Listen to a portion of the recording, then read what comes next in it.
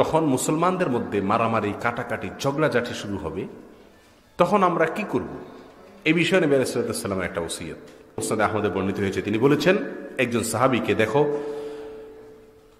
তুমি যদি ফেতনার পরিবেশ পাও, মুসলমানদের মুসলমানদের মধ্যে মারামারি, কাটাকাটি, ঝগড়া, ফাসাদ, যতক্ষণ পর্যন্ত তাকে মুসলিম বলা যায়, মুসলিম বলা যায়, তার ভুল ত্রুটি থাকতে পারে সুবিধা অসুবিধা থাকতে পারে, তার ভিতরে ত্রুটি থাকতে পারে বিচ্ছুতি থাকতে পারে, কিন্তু সে মুসলিম। এখনও সে কাফের বা মুশ্রিক হওয়ার মতো কোনো কাজ করে নাই বেইমান হওয়ার মতো কোনো কাজ করে নাই। এরকম যদি কোনো আল্লাহর বান্দা থাকে, তাহলে সেই ব্যক্তির সঙ্গে যদি অপর আরেক মুসলিমের সাথে কি হয়? মারামারি লিপ্ত হয়। এটা হলো ফেতনার সময়। ফেতনা। ভয়াবহ পরীক্ষার সময় যে আমি কার পক্ষ নেব? কোন পক্ষ নিয়ে অপরপক্ষে অপরপক্ষের বিরুদ্ধে আমি যুদ্ধে লিপ্ত হব? মারামারি, খুনাখুনিতে লিপ্ত হব? এটা আদৌ কি আমার জন্য সবাবের কাজ হবে না গুনাহের কাজ হবে? বিশাল বড় পরীক্ষা। এই সময় আমরা কি করব? কেয়ামতের আগে এরকম বহুত সিচুয়েশন আসবে। সেই জন্য নবী আলাইসালাম বলেছেন যে যদি তুমি এরকম কোনো অবস্থা পাও, তাহলে ফাহমাদ ইলা ওহদ তাহলে তুমি ওহুদ পাহাড়ের উপর উঠে যাও। এরপরে ওহুদ পাহাড়ের সাথে ঘষে বা যেভাবেই হোক তোমার তরবারের ধারকে ভেঙে ফেলো। অর্থাৎ যুদ্ধ থেকে তুমি হাত গুটিয়ে ফেলো। কারণ মুসলিম এবং মুসলিম যখন গন্ডগোল হবে মারামারিতে রূপ নিবে, তুমি সেখানে অংশগ্রহণ করবা না। এটা হকপন্থী মুসলিম, এটা বাতিলপন্থী মুসলিম, এ সমস্ত কথা নেই। যতক্ষণ পর্যন্ত সে মুসলিম হিসাবে গণ্য থাকবে, তাকে হত্যা করার অধিকার, তাকে মারার অধিকার, তার উপর আক্রমণ করার অধিকার শরীয়ত কোনো মুসলিমকে দেয় নাই। সেটা যে নামেই হোক।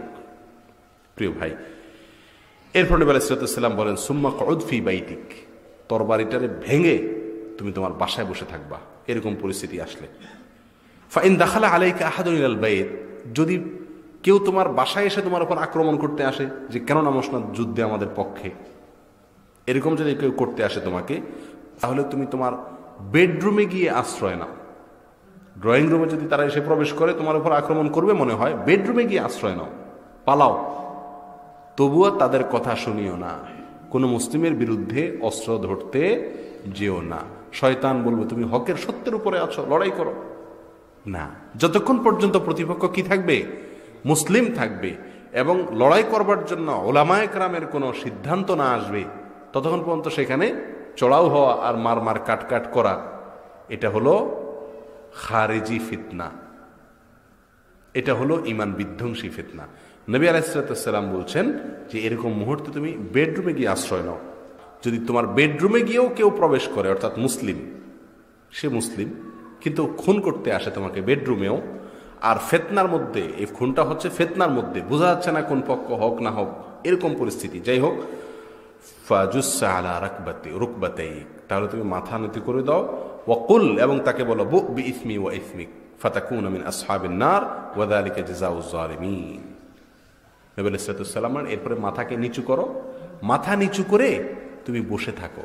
তারপরে বলে দাও, ও ভাই, যে আক্রমণ করতে আসছো আমাকে, তুমি আমার উপর আক্রমণ করো, করে আমাকে হত্যা করে তোমার অপরাধ আর আমার অপরাধের ভার সব নিয়ে তুমি জাহান নামে যাও। কিন্তু আমি তোমাকে হত্যা করার মতো দুঃসাহস দেখাবো না। এরপরে সাহাবি বলেন, নবী সাল্লাম এই কথা শোনার পরে আমি আমার তরবারির ধারকে নষ্ট করে ভেঙে দিয়ে আমি আমার বাসায় বসে পড়েছি। আর এই কথাগুলো চলছিল তখন যখন সাহাবা একরামের মধ্যে আমরা জানি যে দুইটা গ্রুপ হয়ে একটা পর্যায়ে যুদ্ধের সূচনা হয়েছিল, তখনকার মুহূর্তের কথা। আল্লাহ তালা ফেতনার মুহূর্তে আমাদের সকলকে ফেতনায় যেন পতিতে না হয় সেরকম কাজ করার তফিক দান করুন। তাহলে হাদিস থেকে বোঝা গেল, ফেতনার মুহূর্তে কোনো এক পক্ষ অবলম্বন করে মুসলিমদের অন্য পক্ষকে ঘায়েল করার অপচেষ্টা, এটা কোনো মুসলিমের আদর্শ না। নবীল ইসলাম ওসিয়ত করে গেছেন এক সাহাবিকে, যেন এই মুহূর্তে কোনো পক্ষ না নিয়ে নিবৃত থাকেন। আল্লাহ আমাদেরকে বুঝবার তফিক দান করুন।